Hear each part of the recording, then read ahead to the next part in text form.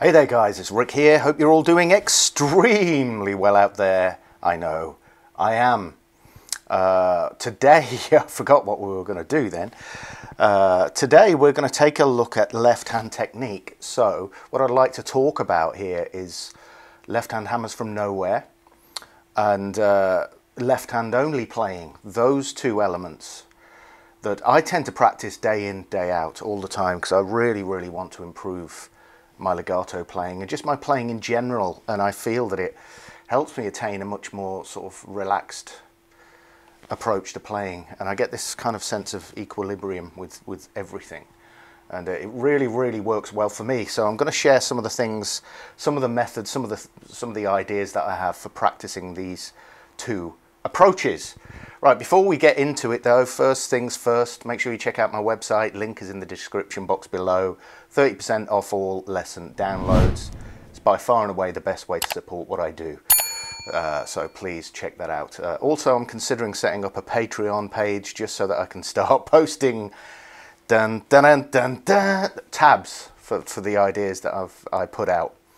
So I'm still deciding. So if you think it's you know a worthwhile thing, I'm just thinking of just having one tier, you know, like five dollars uh, for the month, and then just putting tabs up for you guys, um, so you don't have to keep asking mainly, and uh, you know anything I get will be pumped back into doing these videos, so better equipment, all the rest of it. So uh, leave a comment, let me know what you think. Okay, I'm digressing. Let's get straight to the point, shall we? So, left hand. So, we're not really going to do much in the way of picking. It's all to do with the left hand. So, the way that I practice scales, you'll have seen this in countless videos that I've done before, uh, is uh, when it comes to left hand stuff, is generally one of two ways. Okay, so the first is hammering on and pulling off. However, uh, we, we don't use a pick at all. So if I just show you what I mean. So if we play a, a straight ahead A major scale.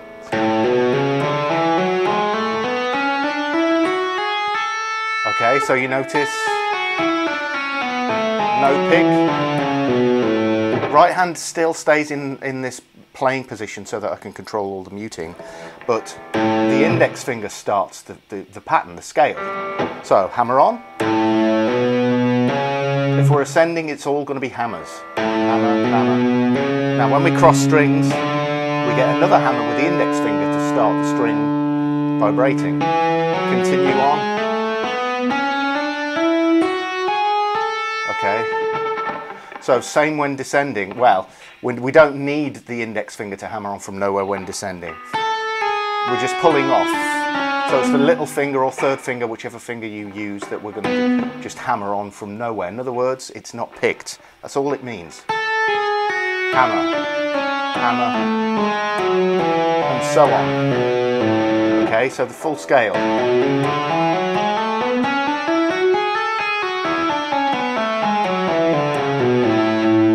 Okay, notice how clean it is. No noise whatsoever. So that's what we've got to aim for. It's certainly what I try and aim for with my playing.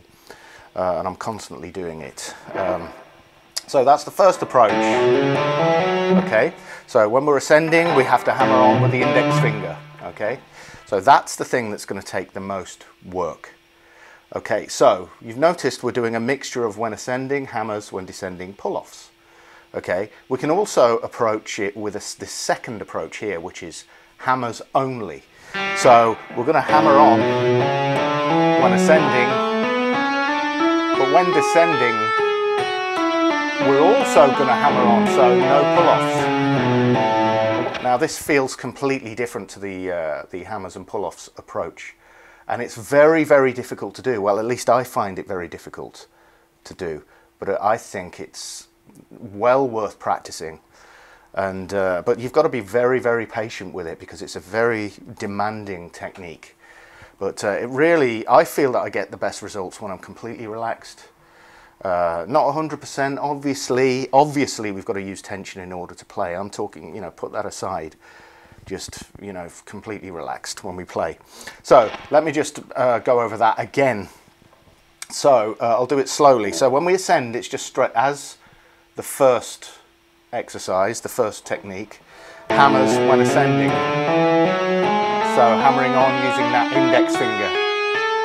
Now, when we descend, we hammer on as opposed to that pull off.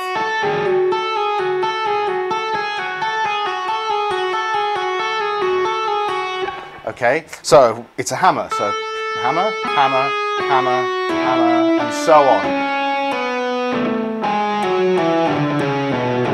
Okay, I find when I do this correctly, there's a way of sort of catching the string uh, as it's vibrating that really helps to let the note sustain. Uh, so.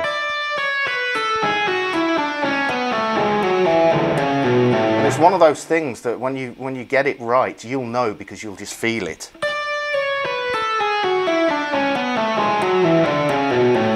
Okay.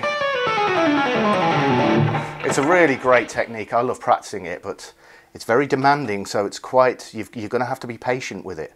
And also very, very honest with your playing. You know, it requires that you make sure everything is clean. So you've got to have a spot on muting technique here.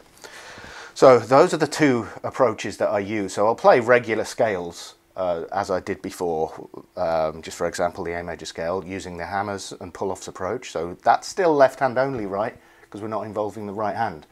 But the second approach is hammers only. So that means when we're descending, we're hammering every single note on.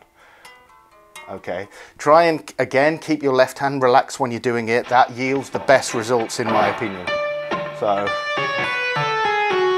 okay. So let me just show you something else. Let's take this a little bit further. So we're going to apply this to the two techniques. Okay. So we're just going to take a trill here on the top E string and we're going to play it like that so that is obviously, hammer on and then pull off. So it's the first of our two techniques. Okay, now we're going to do it hammers only. So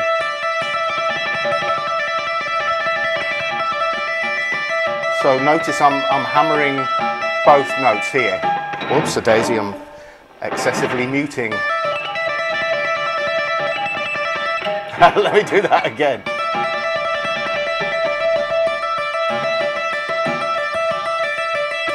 So that's the hammer approach, okay? It needs to be, I need to work on it a bit more.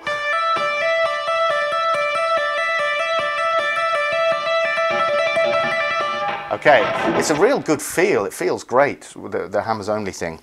So let's extend that just a little bit further uh, by descending and doing the same thing. So that's the hammer on and pull off approach. And this is the hammers only. When you get it right, it sounds just crystal clear.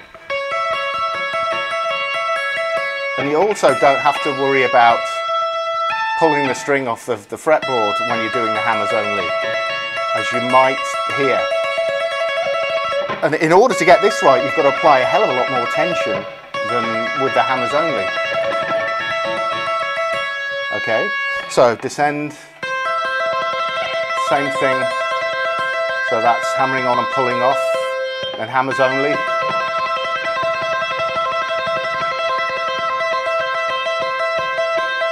Feels great that. Uh, then finally,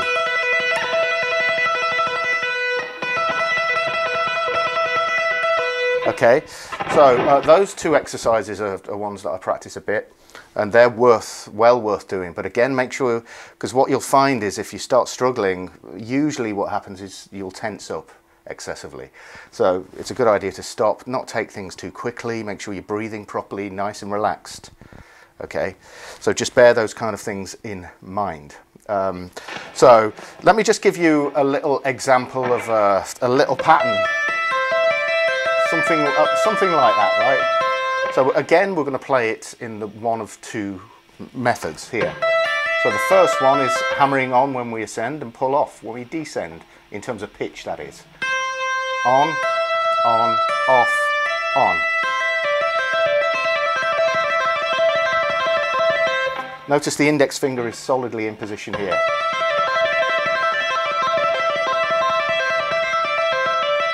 And again, no noise. Okay, so now we're going to do the hammers only.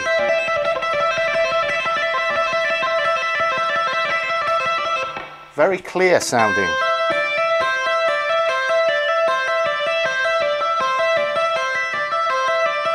And you can obviously play that through the scale.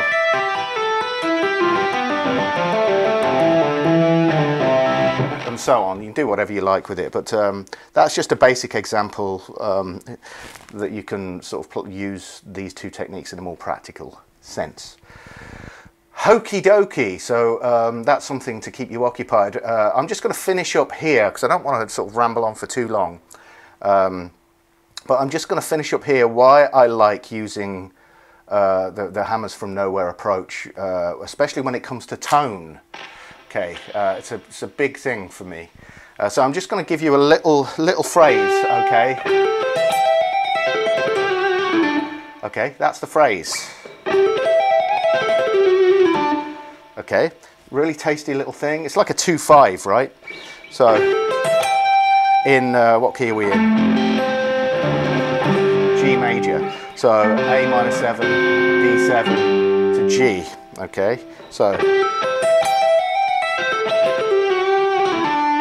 So let me show you what the notes are. G, 12 and 14. Okay, then 13 of the B. Then top E. Okay, that's easy enough, right? And then we're going to go here back down the arpeggio, okay? And then pull off to 12. Then we're going to slide down and then bend up to where um, to, to the, the pitch of the G note on the 12th fret, okay? Release and then do a hammer on and pull off and then finish with these two notes. So all together.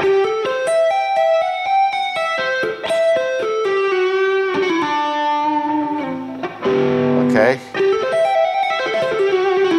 Okay, there's a couple of different ways that I can play that, but uh, I really, really like the sound of um, when you hammer onto a string from, from nowhere, particularly this fella here. I love the tone of that.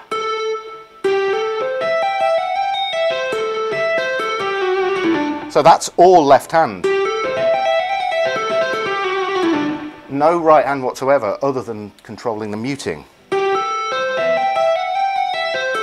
listen to that. I love that. Maybe it's just me. Maybe I'm a bit of a weirdo. Well, that's that's a definite. But so the reason why I'm showing you this is because it's we don't want to approach this kind of thing as just a technical exercise. There are other benefits too, and in terms of finger tone. The, uh, using these particular approaches, the hammer on from nowhere stuff, both the first and second techniques, can yield some wonderful results tone wise. So that's one of the reasons why I adopt these techniques. Not the only, but just one of them. So if I pick the same, pick everything. It sounds all right. A little bit sticky. Perhaps if I play it, you know, less. So all right, but much prefer the sound of this. It's, it's much more fluid sounding than But again, subjective. It's down to what you like the sound of. So um, this is something I do a hell of a lot of. Just listening to the tone.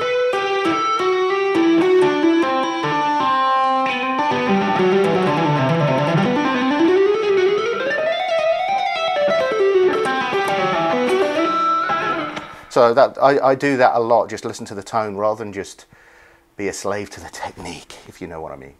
Right, I've rambled on for, for longer than I needed to, but I tend to do that. Uh, anyway, I hope this video has helped. Um, put them to, you know, in your next practice routine, give them a try, see, see how they feel to you. But again, exercise patience. This takes a while to get used to. So try not to rush uh, and just retain as much relaxation as possible. If you are tensing up, just make yourself aware of it. That's that's the biggest step to, to rectifying a, you know, a problem. It's just being aware of it. Okie dokie, I will leave you to it. Again, hit the link in the description for lessons from my website. It's a great way to support what I do. Anyway, I will leave you guys to it. Happy practicing, and I will see you in the next video. Cheers, guys.